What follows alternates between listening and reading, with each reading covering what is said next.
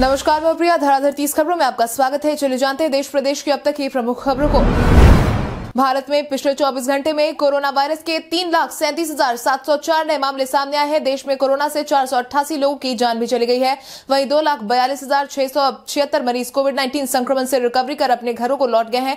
गौरतलब है कि देश में बीते एक दिन में कोरोना संक्रमितों की संख्या में कमी आई है। प्रधानमंत्री नरेंद्र मोदी ने शनिवार को विभिन्न जिलों के जिलाधिकारियों के साथ संवाद किया और इस दौरान उनके जिलों में केंद्र सरकार की योजनाओं के क्रियान्वयन की प्रगति की समीक्षा की। पीएम ने कहा कि जब दूसरों की आकांक्षाओं, अपनी आकांक्षाएँ बन जाती है, तब दूसरों के सपनों को पूरा करना अपनी सफलता का पैमाना बन जाता है तो फिर वो कर्तव्य पथ इतिहास रचता है। आज हम देश के आकांक्षी जिलों में यही इतिहास बनते हुए देख रहे हैं। पंजाब में विधानसभा चुनाव नज़दीक है तो नेताओं की बयानबाजी से माहौल भी गरमाने लगा है। शनिवार को पंजाब के पूर्व सीएम और पंजाब लोक कांग्रेस के संस्थापक कैप्टन अमरिंदर सिंह ने चरणजीत सिंह चन्नी, नवजोत सिंह सिद्धू और भगवंत मान तीनों पर अपने बयानों के तीर छोड़े। शनिवार के रोज आज तक को दिए इंटरव्यू में कैप्टन अमरिंदर काफ़ी बेबाक नज़र आए। उन्होंने दावा किया है कि इस बार पंजाब की जनता कांग्रेस को सबक सिखाएगी। उन्होंने आम आदमी पार्टी के सीएम फेस भगवंत मान पर भी हमला बोला। जम्मू कश्मीर के शोपियाँ ज़िले में आज, यानी कि 22 जनवरी को सुरक्षा बलों और आतंकवादियों के बीच मुठभेड़ शुरू हुई और इस मुठभेड़ में भारतीय सेना को सफलता मिली है। सेना ने एक आतंकवादी को ढेर कर दिया है। पुलिस के एक अधिकारी ने बताया कि ज़िले के किलबाल इलाके में आतंकवादियों की मौजूदगी गुप्त सूचना के आधार पर कार्रवाई करते हुए सुरक्षा बलों ने इलाके को घेर कर तलाशी अभियान चलाया।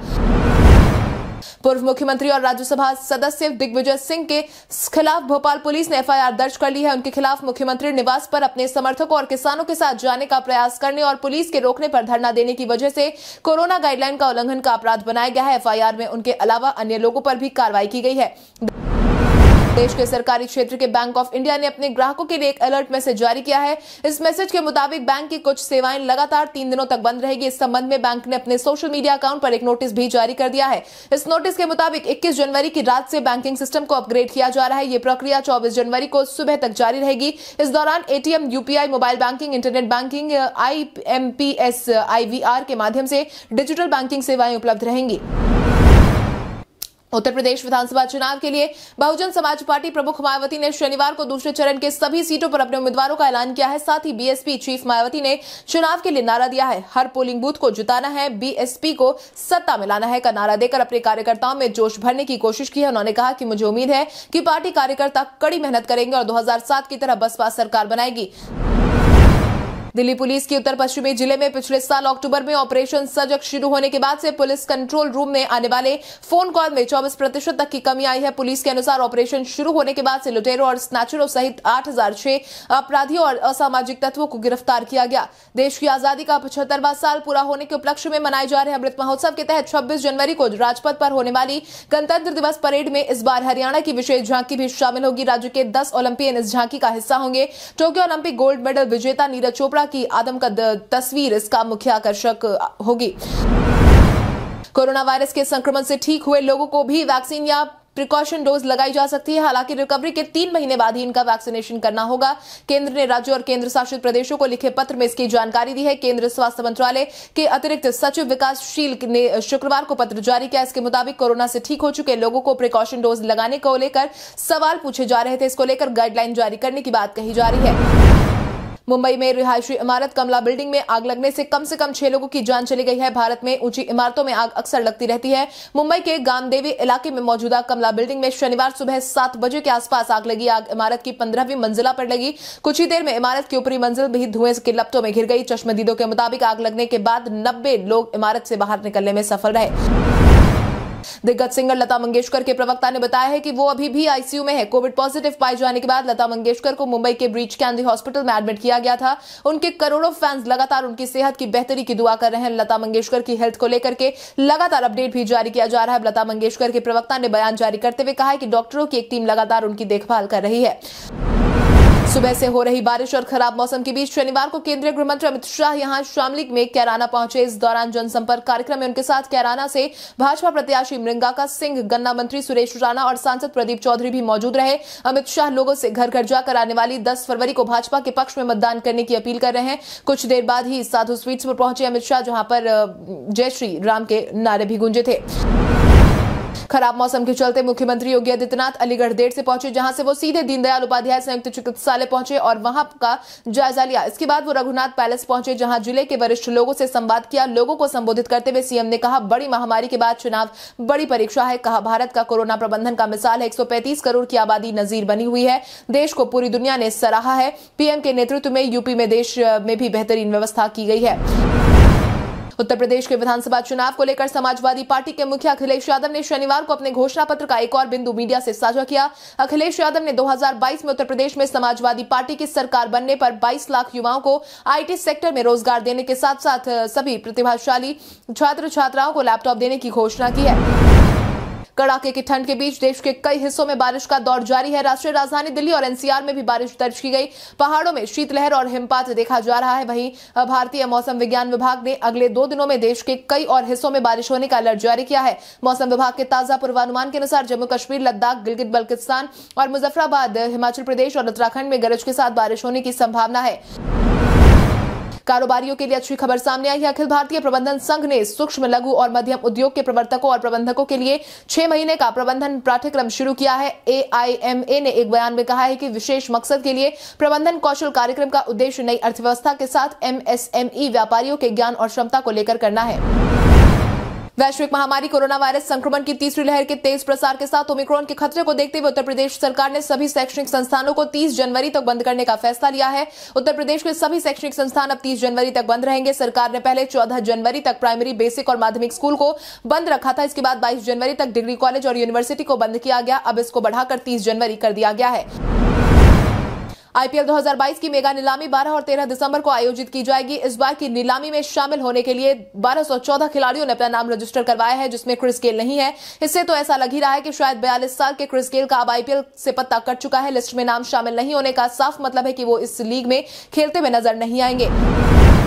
CBSE board term one result पर ताज़ा जानकारी सामने आई है। इसके मुताबिक केंद्रीय माध्यमिक शिक्षा बोर्ड सीबीएसई टर्म वन परिणाम 2022 दसवीं और बारहवीं के प्रतिशत परिणाम जल्द जारी करेगा। वहीं मीडिया रिपोर्ट में संभावना जताई जा रही है कि बोर्ड 24 जनवरी को परिणाम जारी कर सकता है। अब पर्यावरण संरक्षण के साथ विकास को गति देने की कसौटी पर भी राज्यों की रैंकिंग की जाएगी। केंद्रीय पर्यावरण मंत्रालय पारदर्शिता, दक्षता और जवाबदेही को प्रोत्साहित करने के लिए विकास परियोजनाओं को पर्यावरण मंजूरी देने में लगने वाले समय के आधार पर राज्यों की रैंकिंग करेगा। हर राज्य की रैंकिंग उसके मिलने वाले अंकों के आधार पर की जाएगी। अंक इस आधार पर मिलेंगे कि किस परियोजना को कितने दिनों में पर्यावरण मंजूरी दी गई है।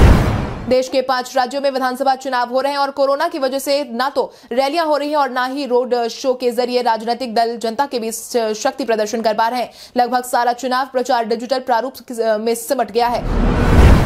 चुनाव आयोग की पाबंदी के कारण राजनीतिक दल और नेता इंटरनेट मीडिया के विभिन्न मंचों के ज़रिए जनता के बीच अपनी पैठ बनाने में लगे हैं। इन्हीं मंचों पर अपनी प्रचार सामग्री को परोस कर पार्टियाँ चुनाव में अपनी स्थिति को मज़बूत करने में जुटी है। उत्तर प्रदेश, पंजाब, उत्तराखंड, मणिपुर और गोवा में अगले महीने से शुरू होने वाले विधानसभा चुनाव के लिए रैली, रोड शो पर रोक अभी जारी रहेगी। कोरोना वायरस और इसके नए वेरियंट ओमिक्रोन के बढ़ते मामलों को देखते हुए चुनाव आयोग किसी भी तरह के भीड़ एकत्र करने की इजाज़त देने के मूड में नहीं है। चुनाव आते ही राजनीतिक फ़ायदे के लिए नेताओं का एक पार्टी से दूसरी पार्टी में आने जाने का सिलसिला शुरू हो जाता है। एसोसिएशन ऑफ़ डेमोक्रेटिक रिफॉर्म्स की रिपोर्ट में इस बात का खुलासा किया गया है कि गोवा में पिछले पाँच साल के दौरान करीब साठ फ़ीसदी विधायकों ने दल बदल कर राष्ट्रीय रिकॉर्ड कायम किया है। रिपोर्ट में यह भी कहा गया है कि भारतीय लोकतंत्र के इतिहास में इस प्रकार की दूसरी कोई मिसाल नहीं मिलती है।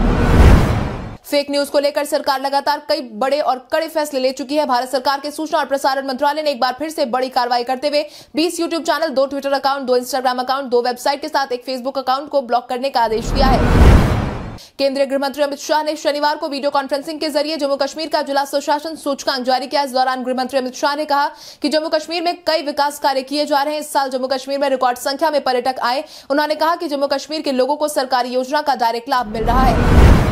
पूरे विश्व में जनवरी महीने को सर्वाइकल कैंसर जागरूकता महीने के रूप में जाना जाता है। विश्व स्वास्थ्य संगठन के मुताबिक पूरी दुनिया में यह कैंसर प्रजनन के लिए सक्षम महिलाओं से में मौत का दूसरा सबसे बड़ा कारण है। महिलाओं में यह चौथा सबसे ज़्यादा होने वाला कैंसर है। सर्वाइकल कैंसर स्त्री रोग से संबंधित सबसे आम कैंसर है, जो पेपीलामा वायरस के कारण होता है। अमेरिकन कैंसर सोसाइटी के मुताबिक सर्वाइकल कैंसर गर्भाशय के निचले हिस्से में स्थित सर्विक्स के ऊपर मौजूद कोशिकाओं में होता है। कांग्रेस के पूर्व अध्यक्ष और वायनाड से सांसद राहुल गांधी ने जन अधिकार को लेकर केंद्र सरकार पर निशाना साधा। उन्होंने शनिवार को इस मसले पर ट्वीट किया कि मोदी सरकार पर जन अधिकार खत्म करने का आरोप लगाया है। साथ ही कहा कि लोगों के लिए भोजन, शिक्षा, रोज़गार और जानकारी का अधिकार भी ज़रूरी है। गांधी ने अपने ट्वीट में कहा कि जन अधिकार के बिना दुनिया के सबसे बड़े लोकतंत्र का क्या मतलब? मोदी सरकार शुरू से जन अधिकार को खत्म करने की कोशिश करती आ रही है। पंजाब के सीएम चरणजीत सिंह चन्नी, दिल्ली के मुख्यमंत्री अरविंद केजरीवाल के खिलाफ उनकी बेईमान आदमी टिप्पणी पर मानहानि का मुकदमा दायर करेंगे। दरअसल कांग्रेस नेता के भतीजे सहित कई जगहों पर प्रवर्तन निदेशालय के छापे के बाद अरविंद केजरीवाल ने सीएम चन्नी को बेईमान कहा है, जिसके बाद पंजाब में एक संवाददाता सम्मेलन को संबोधित करते हुए पंजाब के मुख्यमंत्री ने कहा कि मैंने ईडी के छापे के संबंध में केजरीवाल और आप पार्टी द्वारा मुझ पर व्यक्तिगत हमले के संबंध में अपनी पार्टी से अनुमति मांगी है। मैं जल्द ही केजरीवाल के खिलाफ मानहानि का मुकदमा दायर करूँगा, क्योंकि केजरीवाल हद पार कर रहे हैं तो अब यह आवश्यक है।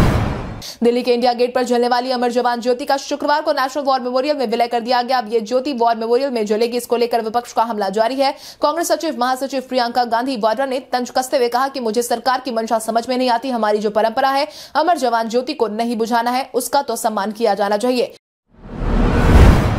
कल हमारे द्वारा पूछे गए सवाल का जवाब आप में से बहुत सारे यूज़र ने हमें कमेंट करके दिया था। उसके लिए आपका बहुत बहुत धन्यवाद। आप में से जिन यूज़र का कमेंट हमें अच्छा लगा है, उनके नाम है देवराज कुमार, मनीषा कुमारी, अरविंद कुमार, संजीव कुमार, दिव्यांशु कुमारी, देवराज सिंह पंकज सोना, प्रेम कुमार राजा राज यादव, धनजी, मुन्ना यादव। आप इसी तरह हमारे सवालों का जवाब देते रहे। हम हर दिन वीडियो के अंत में आपका नाम लेने की पूरी कोशिश करेंगे। तो चलिए बढ़ते हैं आज के सवाल की और आज का सवाल कुछ इस प्रकार है।